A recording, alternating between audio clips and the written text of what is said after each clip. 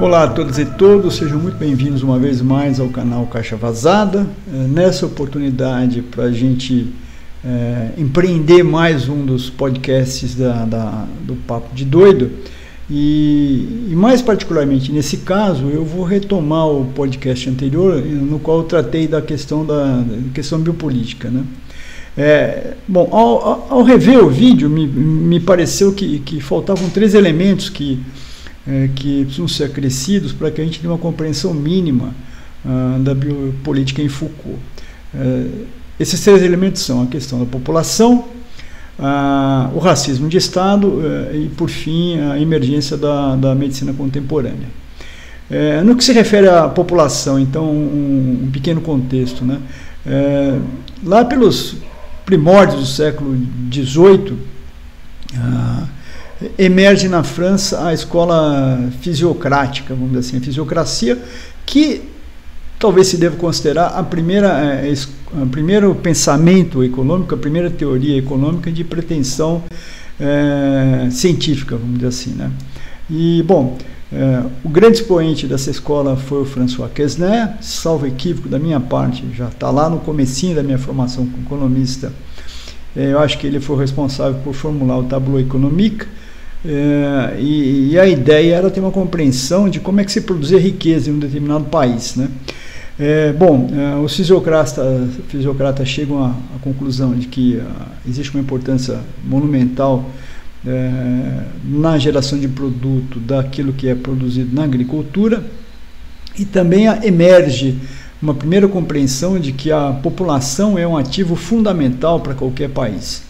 É, bom, é, Tendo a população como referente importante para a produção econômica, a própria população passa a ser objeto de estudo e de intervenção estatal. Né? Então, o que acaba acontecendo é que você tem toda uma série de, de, de estatísticas que passam a ser, a ser confeccionadas, uh, confeccionadas pela população, desculpa, sobre a população, com, a, a, a, com o mote, com o objetivo né, de melhorar a sua condição, sua qualidade, né, é, enquanto conjunto de seres vivos humanos, vamos dizer assim. Né.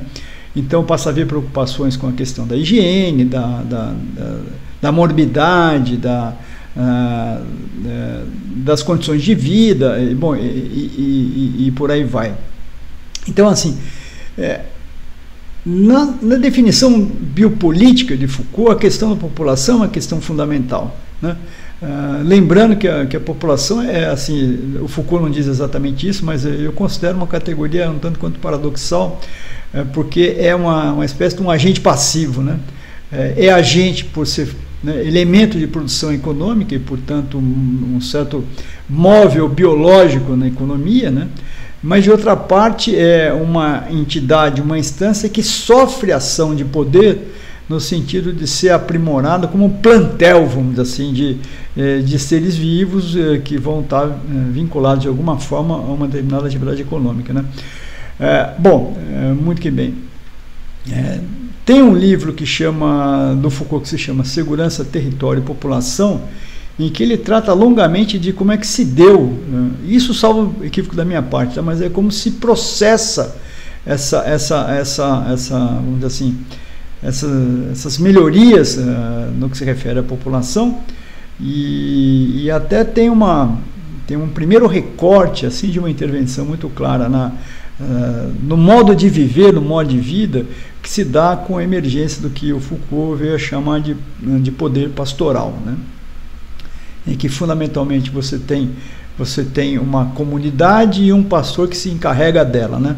É um pastor que se encarrega da, da vida dessa comunidade e, portanto, passa a incidir sobre ela de maneira muito direta. É, bom, é, dito isso sobre a população, a, uma segunda categoria muito importante é o que o Foucault chama de racismo de Estado, né? É, não é muito diferente disso que eu já vi, falei para vocês, de certo modo, mas é, o que, que o Foucault, uh, como é que o Foucault coloca essa questão? Primeiro, ele observa que houve ao longo do tempo na história da humanidade uma permanente luta de raças, vamos dizer assim, né? É, povos que se degladiavam por controle de território, enfim, né? E, mas mais recentemente, em, em particular na, na modernidade, e, é, a ideia de raça perde essa conotação de ser é, de povos em luta por um território é, para ter um, um, contexto mais propriamente biológico. Né? É, isso fica muito claro, evidentemente, no século XX, com a emergência do, do, dos fascismos, né? de um modo geral, e das teorias racistas, da eugenia e daí por diante. Ou seja, nesse momento você sai da tópica da guerra de raças, né, para pensar biologicamente a raça e a raça, à sua vez, possa ser uma implicar tecnologias e sua melhoria para aumentar a potência, o poder de um determinado país ou, ou, ou nação, né? É, dentro dessa lógica que se inscreve é, propriamente o nazifascismo, né? É, ou seja, é uma concepção biológica de raça e a, grande parte do móvel, uh, no que, em particular naquilo que ele é racista, no, no, no nazismo, é, é, o de aprimorar essa raça até que ela se torne uma raça absolutamente pura, hegemônica e daí por diante. É. Não é preciso fazer assim, um grande esforço para compreender que isso levou a tragédias inomináveis. Né? Uh, primeiro, porque essa ideia de uma raça aprimorada é, bem, gerou as mais variadas ordens de extermínios, né? É, judeus, mas além de judeus, né? É, homossexuais, é, é, populações minoritárias, poloneses, enfim, eslavos, tinha um conjunto enorme, ciganos, havia um conjunto enorme de, de, de, de sub-raças, vamos dizer assim, né? Que deviam ser eliminadas, inclusive para não, ah, vamos dizer assim, degenerar ah, a raça ariana. Né? É, lembrado aqui que, que essa questão da, da purificação racial é tão, tão séria, tão severa, que ela não implicava somente essas categorias ditas párias, né? É, ela se referia também à própria raça ariana no sentido de, de é, extirpar dela tudo aquilo que pudesse nela mesma gerar algum tipo de degeneração. Né? Então, ah, as pessoas com doença mental, os homossexuais, ah, as pessoas que tivessem né, vários tipos de naturezas de deformidades físicas, daí por diante, deviam ser eliminados porque eles eram degenerações que comprometiam o futuro da raça, né, vamos dizer assim. Ah, então, essa intervenção é, sobre, sobre a população, vamos dizer assim, é, no sentido de criar uma raça é, superior, mais competente, mais capaz, mais produtiva, mais inteligente e daí por diante, é muito própria do, como falei para vocês já, do, do nazifascismo, mas a história desse modo de pensar e dessas tecnologias a rigor não nascem é, com o nazifascismo. Né? Então, é, lembrar então que, que o que a gente chama de, de, de técnicas biopolíticas né, são bastante anteriores ao século XX, tá certo? Quer dizer, é, no que se refere ao racismo de Estado ainda, é, é, ele tem tanto uma anterioridade grande nesse sentido de serem técnicas, tecnologias de gestão da população, então assim é bastante anterior ao nazifascismo, é, mas a gente não pode pensar que, que, que essas técnicas uh, de controle racial, vamos dizer assim, se extinguem eh, com a derrota nazista, nazi-fascista na Segunda Guerra Mundial. A rigor, e essa é uma das coisas muito interessantes que, que, que, o, que o Foucault traz à luz, ainda que talvez não no modo como eu vou colocar aqui, é o fato de que eh, eh, você tem um racismo de Estado que implica um recorte populacional, separando aqueles que têm, é, é, têm condições, vamos dizer assim, de se integrar ao modo de produção dominante, hegemônico, capitalista, né, com seus recortes de produtividade, de tecnológicos, daí por diante, e tem né, na parte de baixo desse recorte uma certa parte da população que é, não tem condições de, de se inserir nessa lógica produtiva, pelo menos não na sua plenitude, não é verdade? Então, é, é, aproveito esse gancho para tentar requalificar a questão racial. Né? Então, assim, é, ainda existe uma questão, existem tecnologias de poder aplicadas à questão da população que tem um recorte racial, ainda que não necessariamente é, isso esteja, é, vamos assim, perpassado exclusivamente pela, pela, perspectiva, pela perspectiva fenotípica. Né? Não é só uma questão da cor da pele, enfim, é, da origem, não é só isso. Esse recorte racial, né, ele tenta separar de fato as pessoas que são funcionais daquelas que são desfuncionais. E, e, diferentemente das práticas fascistas, as, as, democracias contemporâneas lidam com isso de uma forma diferente, mas que não é de todo, de todo distinta. Ou seja, assim, em lugar de buscar o extermínio dessas populações, a, a rigor, é, o que acaba acontecendo é quase que o abandono dessas populações desfuncionais à própria sorte, né? Uh, ou então uh, relegando-as ao que sobra no orçamento público, tá certo? Quer dizer, e, e, aí você tem uma espécie de um controle populacional de, de natureza semelhada à tópica anterior, né? Uh, mas com, com, com, com modos operantes distintos. Então, em, vez, em lugar de buscar o extermínio propriamente dito, né, o que acaba acontecendo é o abandono das pessoas a condições que as impedem de viver dignamente ou então até de se reproduzir a exaustão, na verdade. Eu quero dizer o que com isso, né? É, por exemplo, né, isso é uma coisa flagrante, né? É, a completa desatenção de certas porções da população com relação ao mínimo de sanidade. Quando eu digo sanidade, saneamento básico, sanidade ambiental, é, condições mínimas aí um pouco já diferente, né? É, de atenção à saúde, é, de atenção à educação, de meios assistenciais para que essas pessoas superem dificuldades que são transgeracionais, que elas receberam, que elas não escolheram de forma alguma, que são, é, que são anteriores às suas próprias existências. Então, essas populações são abandonadas à sua própria sorte. Né? porque elas são desfuncionais para com relação ao regime de produção que se torna cada vez mais acelerado, é, exige cada vez mais requisitos de natureza técnico, de educação e daí por diante, né? É, também não, a gente não pode esquecer o seguinte, que além daquilo que é uma espécie de, uma, de um jogo passivo, né? Eu, o Estado deixa de se responsabilizar por aquilo que deveria ser responsabilidade é, quase que natural, entre aspas, é, sua, né? A gente tem políticas ativas, né? É, de, de, de, de, persecução, vamos dizer assim, racial. Né? Então, tipo assim, é, coisa que no Brasil é flagrante, mas não é só no Brasil, você tem na, nos Estados Unidos, tem na França, tem em vários lugares da Europa, o modo de atuação das polícias né, em territórios que são territórios empobrecidos. Né? É, não precisa ir muito longe. Né? Aqui no Brasil, por exemplo, a gente passa por uma espécie de.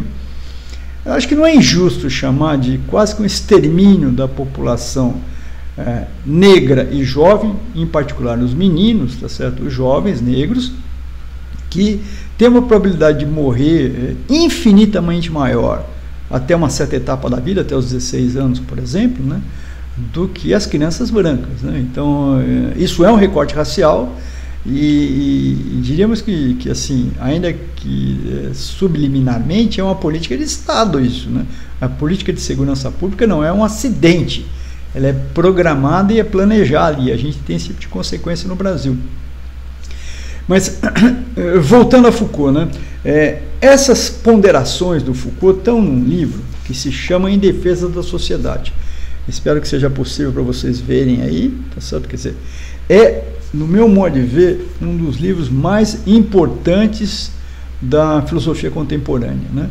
É, em que ele trata dessa questão racial, mas é, muito particularmente, eu acho que ele, ele configura um pouco é, um tema extremamente complexo, né?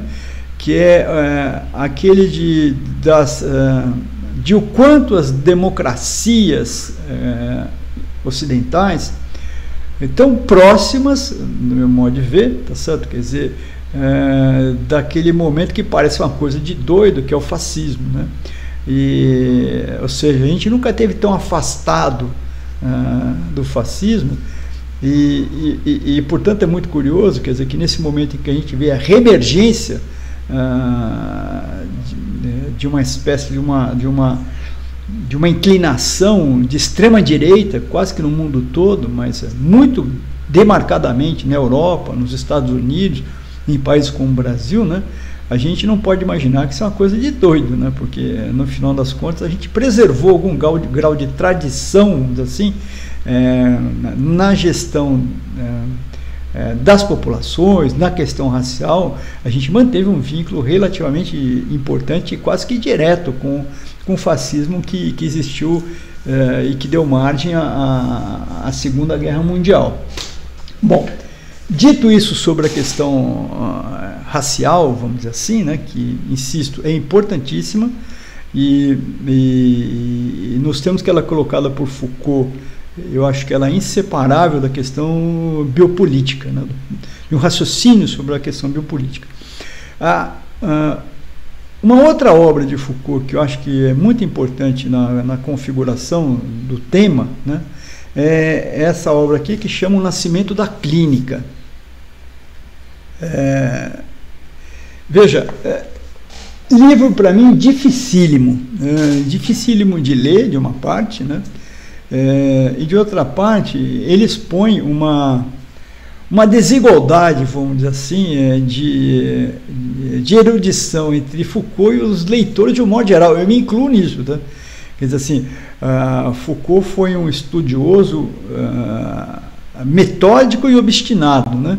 Uh, são décadas estudando e ele perfez, ele fez um percurso, vamos dizer assim, que vai desde a antiguidade greco-romana até a contemporaneidade, estudando muito a sério, inclusive fontes originais, quer dizer, não, é, não são coisas que alguém disse para ele, mas tentativas de realmente de fazer um trabalho arqueológico que é importante na, na produção do Foucault. Então, há uma dificuldade, uh, primeiro porque nesse livro, O Nascimento da Clínica, ele trabalha com fontes primárias, uh, uh, assim, de,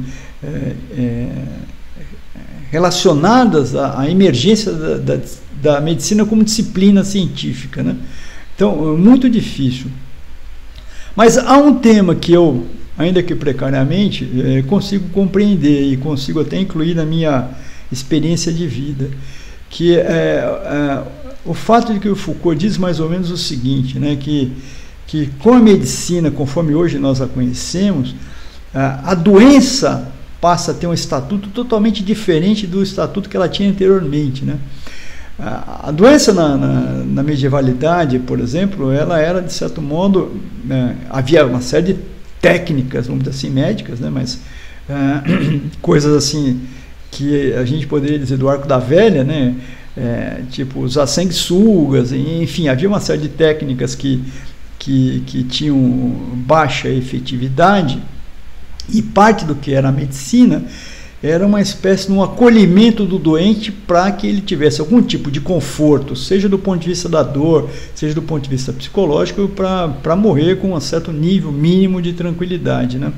Então, esse era o registro. Então, Uh, a morte uh, àquela época né, e a doença se, se inscreviam num certo tipo de conceito, vamos dizer assim, o Foucault não diz esses termos, mas não é absurdo dizer isso, dentro de uma lógica teológica, mágica. Né?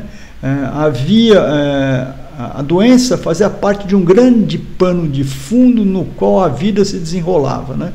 E, e que terminaria e que ia dar na morte necessariamente, né? A, a medicina moderna, eh, contemporânea, ela passa a empreender uma luta, eu diria, curiosamente, de vida e morte contra a morte, né, ou contra a doença. Né? E a doença é o índice da morte, vamos dizer assim. Então a medicina está absolutamente dedicada a vencer a doença e, ao, em vencendo a doença, é, dá à vida uma longevidade cada vez mais longa. Né? É, então, assim, é, é um registro muito diferente da medievalidade e, e, boa parte do que a gente tem de prescrições biopolíticas é, estão vinculadas à medicina, às práticas médicas ou paramédicas, vamos dizer assim. Né? Então, levanto de manhã, pô, tem que tomar cuidado para não tomar café, não posso fumar um cigarro, é, ou não posso, ou ninguém deveria fumar um cigarro, é, pô, tenho que ir para academia, não posso me estressar, tenho que comer bem, é, preciso evitar é, coisas que gordurosas, açúcares, enfim, não devo beber. É, a vida tá, tá, tá assim. Não estou não tô questionando, obviamente, que, que isso esteja correto, mas o que eu estou querendo dizer é o seguinte: que a vida passa a estar completamente tomada por prescrições, né? De faça, não faça, faça isso, não faça aquilo e, e daí por diante. E isso tudo tem uma perspectiva claramente biopolítica, né? E, de certa forma, é, é, é até curioso, né? Porque assim, a, a eu disse para vocês que de alguma maneira a, a doença, morte, medicina estavam de alguma maneira num pano de fundo teológico, vamos dizer assim, né? E não é de todo justo dizer a gente dizer que isso não acontece mais, né? Não é correto, na verdade, porque é, a gente tem é, hoje em dia na nossa sociedade um culto da própria vida, uma louvação da vida. E isso não deixa de ter uma perspectiva assim religiosa, né? É, nós somos levados a a cultivar a vida e tentar estender a vida até o último limite do possível. Né? Então, é, isso acaba tendo, inclusive no que se refere às prescrições que isso implica, né?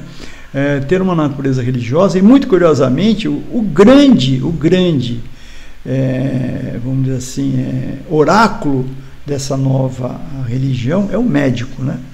É, o médico que, a, que a, a, de alguma maneira é, dá às pessoas conforto ou profere uma sentença, né? muitas vezes sentença de morte. Né?